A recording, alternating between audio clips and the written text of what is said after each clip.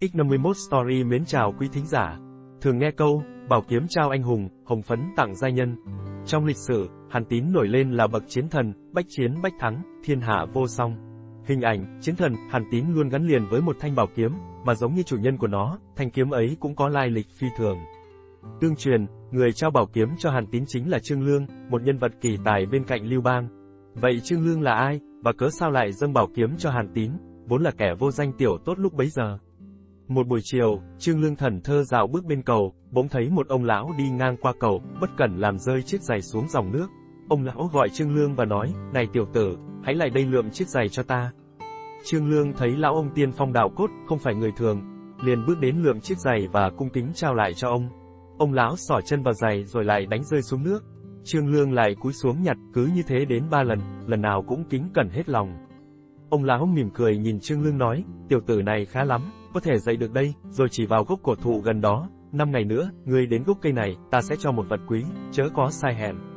Năm hôm sau, Trương Lương dậy sớm, đến chỗ gốc cây đã thấy ông lão ngồi chờ sẵn nơi đó. Ông lão nhìn Trương Lương mắng, đã hẹn với kẻ trượng phu cớ sao lại đến trễ. Thôi, ta cho năm ngày nữa, hôm đó phải đến cho sớm. Đến ngày hẹn, vào đầu trống canh năm, Trương Lương đến gốc cây, nào ngờ ông lão đã ngồi ở đó rồi. Ông lão mắng, sao ngươi biếng nhác thế, hôm nào cũng để ta phải chờ đợi. Thôi, ta hẹn cho năm ngày nữa. Lần này, Trương Lương không ngủ, suốt đêm ngồi chờ ở gốc cây. chống canh năm vừa điểm, ông lão lệnh mình bước đến. Ông lão nói, ta xem tiểu tử cốt cách thanh kỳ, nếu biết dùng tuổi xanh lo việc học tập, sau này có thể đổ vương định bá được. Nay ta cho ngươi ba quyển bí thư, trong có đủ kỳ mưu, thần toán. Dù tôn, ngô phục sinh chưa chắc bị kịp. Ngươi hãy nhận lấy mà học tập, trước vì nước Hàn mà báo quốc, sau vì thiên hạ mà giúp chân chúa đem lại Thái Bình, để khỏi phụ tình chi ngộ. Trương Lương tiếp nhận ba quyển sách, quỳ mọp xuống đất tạ ơn.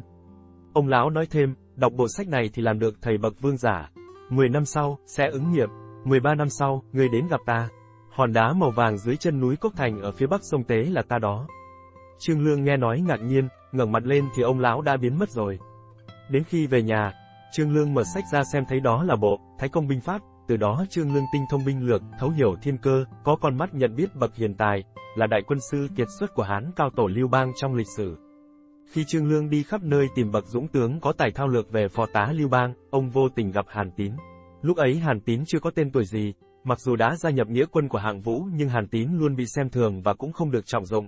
Nhưng Trương Lương thì khác, ông chỉ thoáng qua đã nhận ra Hàn Tín là bậc anh tài hiếm có, ai có được Hàn Tín người ấy sẽ nắm cả thiên hạ. Trương Lương ngay lập tức đã đến gặp Hàn Tín. Trương Lương nói, tiền nhân tôi có để lại cho tôi ba thanh bảo kiếm quý báu vô cùng, vì vậy bấy lâu nay tôi đi tìm bậc anh hùng hào kiệt trong thiên hạ, kẻ nào đáng mặt thì dâng hiến. Hiện hai thanh bảo kiếm kia tôi đã dâng hai người xứng đáng rồi, duy còn thanh thứ ba này chưa gặp chủ. Nay nghe tướng quân là bậc hào kiệt, lại là bạn đồng hương, nên mang lại đây kính biếu cho tướng quân. Hàn Tín thấy Trương Lương ca tụng thanh bảo kiếm liền hỏi, dám hỏi tiên sinh, thanh kiếm ấy có gì quý? Trương Lương ngâm lên một bài thơ ca tụng thanh kiếm rằng, kiếm báu không đem bán, chỉ hiến kẻ hùng anh, Giang Sơn mặc sức tung hoành, giúp người dựng nước, lưu danh muôn đời. Hàn Tín thấy Trương Lương nói vậy, bèn đứng dậy đáp. Tín tôi chẳng qua là một kẻ hư danh, nay tiên sinh có lòng hạ cố đến đây, ơn ấy không sao nói hết. Vậy xin tiên sinh cho tôi xem qua kiếm ấy. Trương Lương trao kiếm cho Hàn Tín, kiếm vừa rút ra khỏi vỏ, hào quang chói sáng ngời. Trên bao có đề một bài thơ, kiếm báu lập lòe tay dũng sĩ, non sông mốt giải trí hiên ngang, máu hồng men rượu say băng tuyết, muôn dằm sơn hà một tấc gang. Hàn Tín thường ngày rất thích kiếm, nay thấy thanh bảo kiếm trong lòng vô cùng yêu thích, hiềm nỗi chỉ vì trong túi không có tiền nên không dám hỏi giá.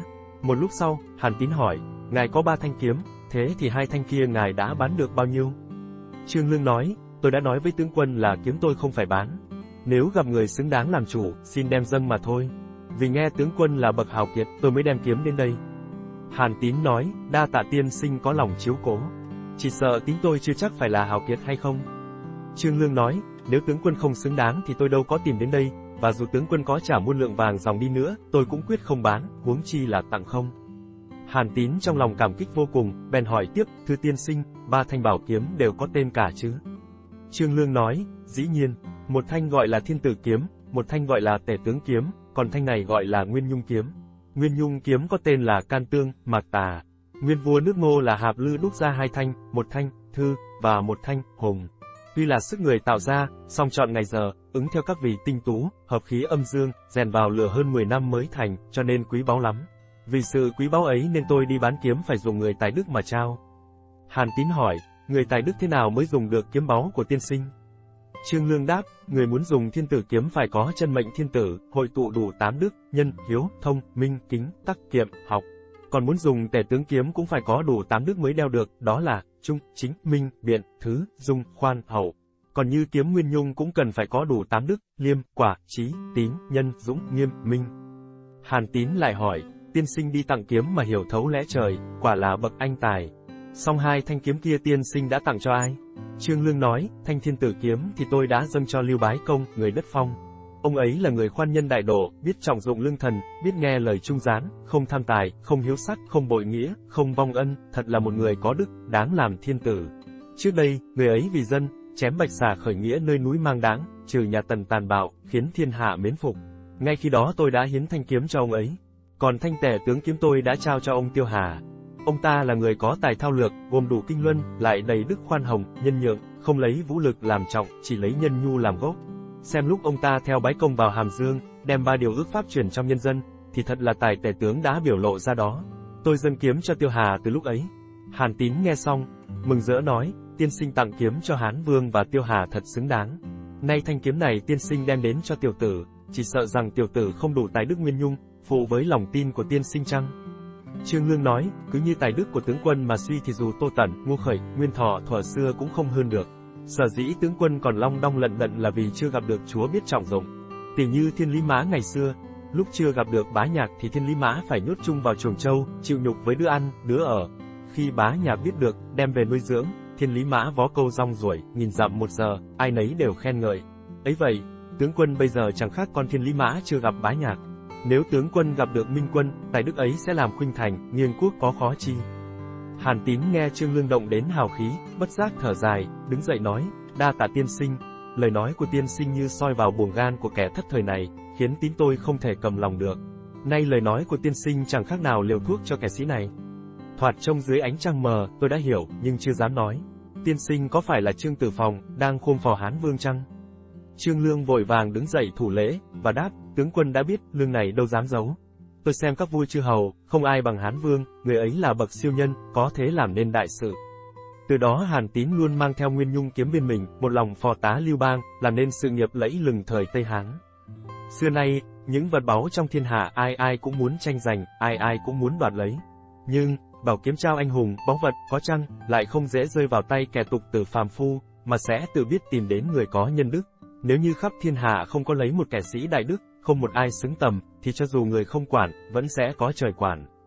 Vì thế mới có chuyện, cuốn, Thái Công Binh Pháp, ắt được trao cho Trương Lương, thanh kiếm thiên tử ắt phải trao cho Lưu Bang, tể tướng kiếm ắt được trao cho Tiêu Hà, và Nguyên Nhung kiếm ắt là dành cho Hàn Tín. Đó là vì Lưu Bang có nhân đức, mang chân mệnh thiên tử, Tiêu Hà có tài thao lược, lại biết trọng nhân, còn Hàn Tín trí dũng song toàn, tài năng chắc Việt, lại là bậc đại nhẫn thiên hạ khó ai sánh bằng. Cho nên, tu thân, dưỡng đức là điều mà người xưa luôn xem trọng. Chỉ khi cái đức đủ rộng lớn, lòng nhân đủ quảng đại bao la, thì mới xứng đáng được làm chủ, vật báu, trong thiên hạ vậy. Chúng tôi xin kết thúc bài chia sẻ của mình tại đây. Xin chân thành cảm ơn các bạn đã dành ra thời gian quý giá để lắng nghe bài chia sẻ này. Xin kính chúc quý thính giả cùng gia đình luôn luôn hạnh phúc, thành công và bình an trong cuộc sống.